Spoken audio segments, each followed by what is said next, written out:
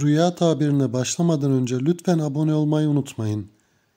Rüyada yumurta yemek, zenginliğin ve mutluluğun işaretidir. Ayrıca evliliği de işaret eder. Çok fazla pişmiş yumurta yediğinizi gördüyseniz aile içi mutluluğun oluşacağına işarettir.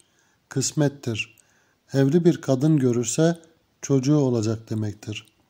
Rüyalarınız hayır olsun. Lütfen abone olmayı unutmayın. Hoşçakalın.